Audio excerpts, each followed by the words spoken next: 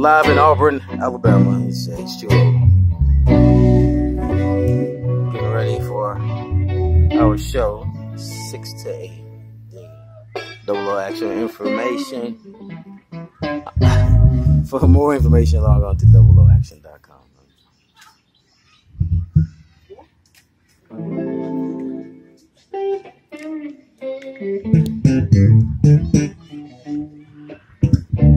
Thank you.